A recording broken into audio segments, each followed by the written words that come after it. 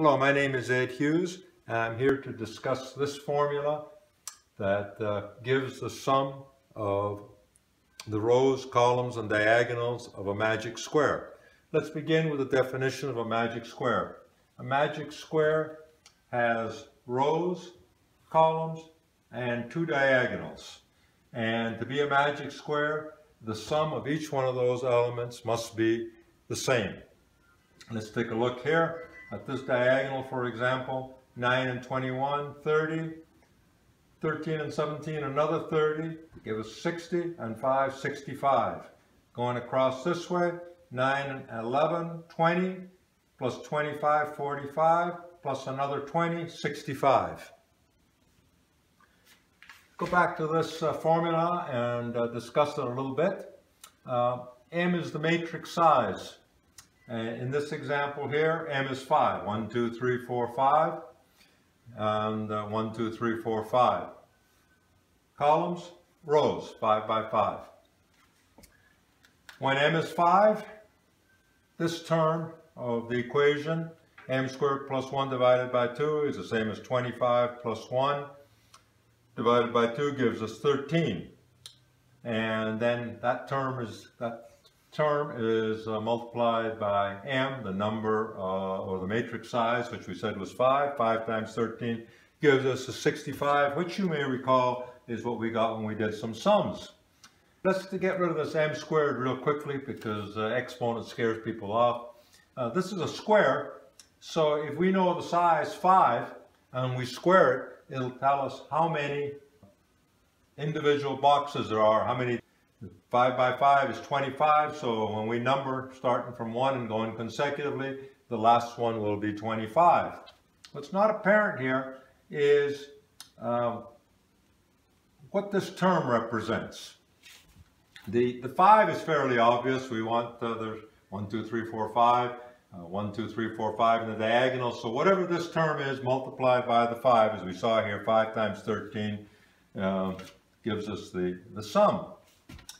So to understand that, we have to know a little bit about uh, averages or means. And here is the formula for an average.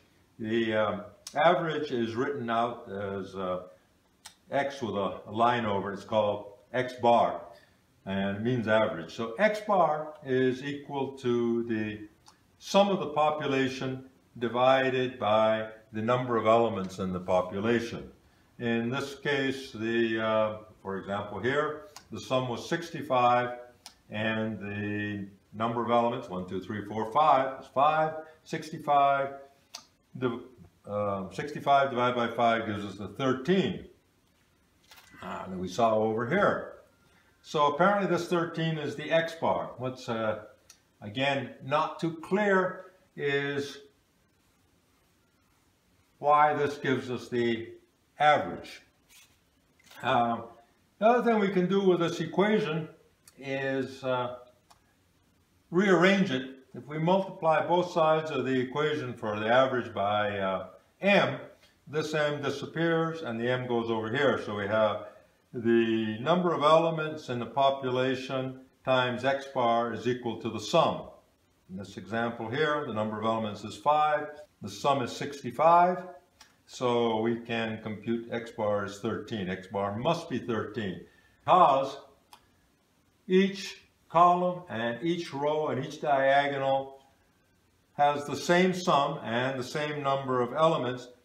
x bar, the average, must be 13 in, for all of. For all of them. For every row, every column, every diagonal, the average is 13.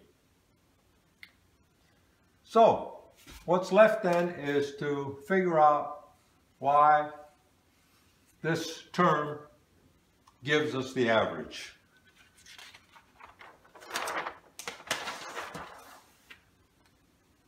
For any series from i to n, beginning with i and ending in n, with equal increments, is very important, equal increments, x bar is the n plus the beginning divided by 2. Let's go back a second and look at that equation. There's the 2, there's the beginning, And the m squared gave us the last one, 25. 5 by 5 gives us 25. So, that equation satisfies this rule. What's not clear is why the average of all of the numbers should give us the average of each individual row or column or diagonal. For example, in this row, the number 25 doesn't appear. All right, where i is 1, that's the first number, and the last number is 9, and the increment is 1, we can write down the series of the numbers 1, 2, 3, 4, 5, 6, 7, 8, 9.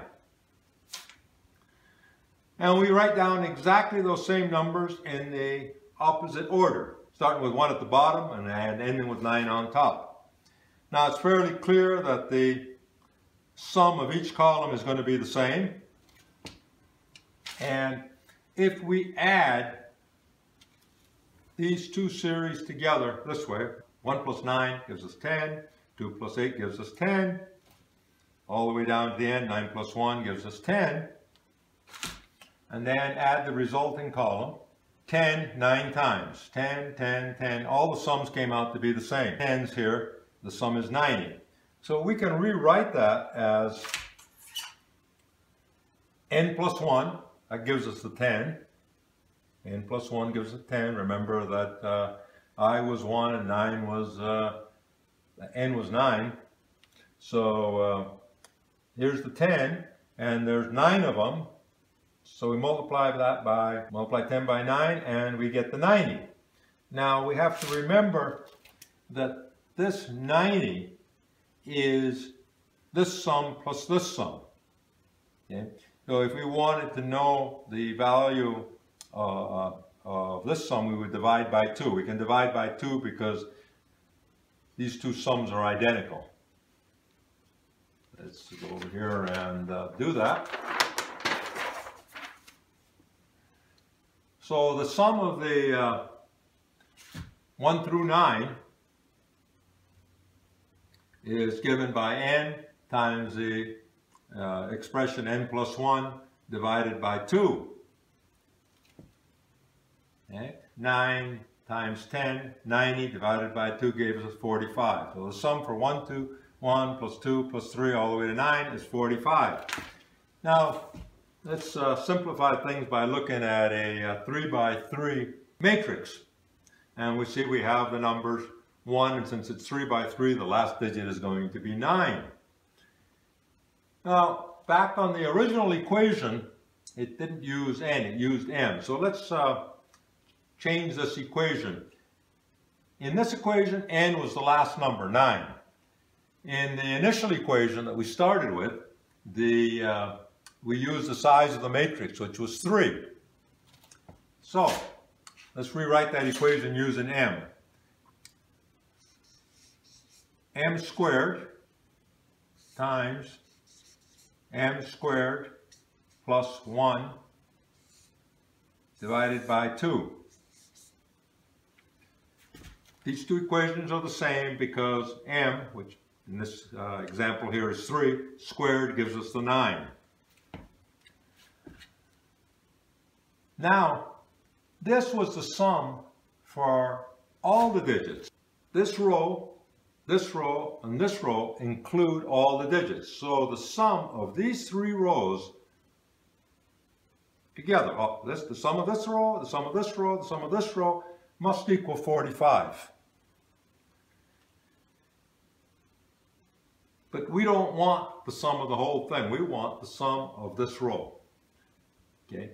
Now, since the rows have equal sums, we need to divide by 3 which is the order of the matrix. If the matrix was 5, we would divide by 5.